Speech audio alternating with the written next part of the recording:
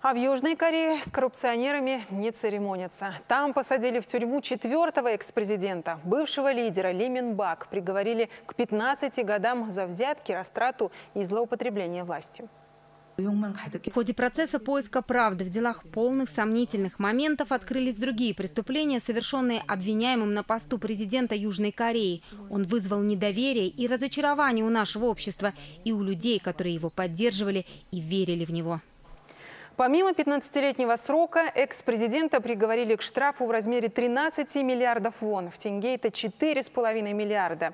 Ли Бак был во главе Южной Кореи с 2008 по 2013 год. Следователи обнаружили, что за время он получил взятки на 10 миллионов долларов, в том числе от концерна Samsung и южнокорейской разведки. А также присвоил 22 миллиона долларов, принадлежавших частной компании по производству автозапчастей, которую возглавлял его брат адвокат. Лемен все обвинения отрицает, а дело против себя называет политической местью действующей власти. За последние 22 года он стал четвертым президентом, осужденным за коррупцию.